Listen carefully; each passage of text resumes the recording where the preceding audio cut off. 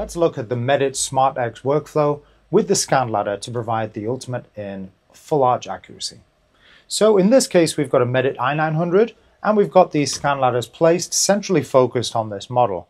The first thing we need to do in the software is to be able to go to the stage management and you can see now we have this all on X workflow button that we'll be able to click and that automatically sets us up ready to be able to provide the All on X workflow using the SmartX protocol.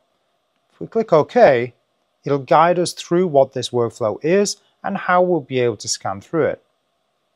We'll click Next, and then we're going to choose Scan Ladder as our choice here to confirm and be able to pick up these scan bodies. Once we start scanning, you'll see that it's going to pre-register just from those centrally focused points all of the shapes without having to scan the cylinders. It's going to scan the scan bodies and then provide the perfect shape of that cylinder to be able to match in the lab accurately later down the line. So let's double click and let's get started. So you can see here, I've just started on one of those shapes. It's already registered two of them. As I slowly move across, that other shape is going to pick up. There we go. And that is all picked up by this last one. There we go and that's all of those done.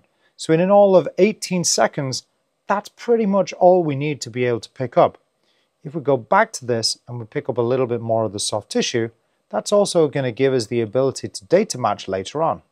So we can go through and add a little bit more of the soft tissue, but quite honestly, that is only needed as much as you can provide soft tissue to be able to match at this next stage.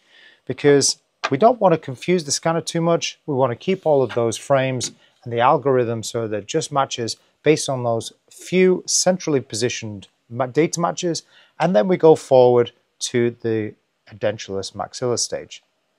So as we go through, you'll see that this is now going to copy that data over to the next stage and remove automatically all of those scan bodies. Let's remove this and fast forward once I've removed all of these scan bodies. So now we've removed all of those scan bodies, we're ready with the edentulous arch to start scanning. If we get going, we're going to start that data capture and you can see that it automatically picks up what's remaining of the soft tissue for us to be able to fill in those blanks. And remember, we don't need too much. We need just the amount of soft tissue that the bridge is going to cover. Once we've picked up that data, we can maybe expand it a little bit by going back over and picking up a little bit more if that's possible.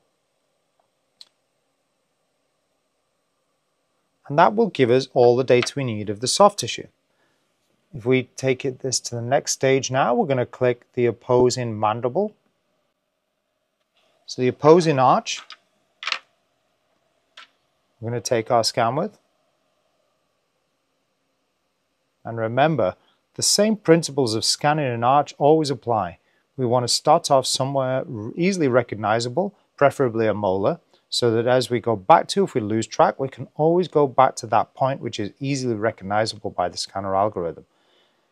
Then we go around following that arch and pick up back, uh, backing around, and there we go. We have a complete scan. So the next stage we need to go to the pre-op stage of the maxilla, where we're going to add on the bridge onto the multi-unit. So if we screw these on, we're just going to hold this on with a couple of screws.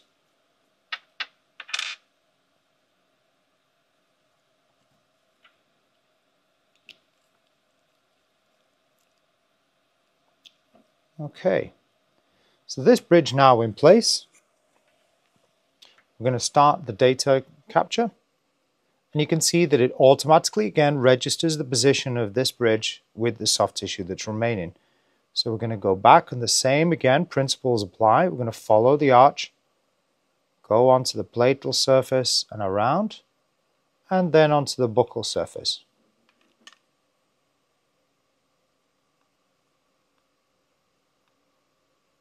Remember, as we're passing over the incisal edge, the same principles apply that we do with dentate arches, is to make sure that that captures a little bit of both sides of that so that we can accurately tie together the mesh of the buccal and also the palatal parts of the scan so that there's no crossing over of the data.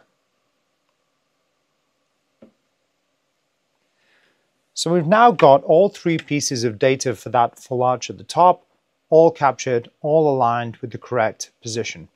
The next stage we need to do is to capture the occlusion. So we're going to click on the bite.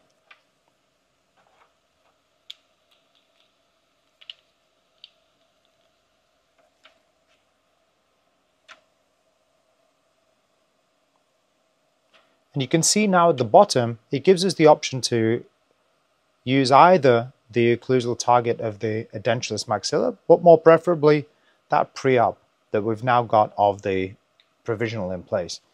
So we're going to double click, start to scan that, and hey presto, that's locked it in place. Click on the other side.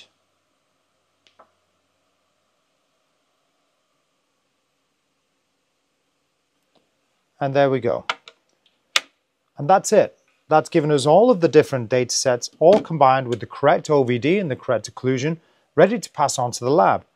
The last stage is just to click complete,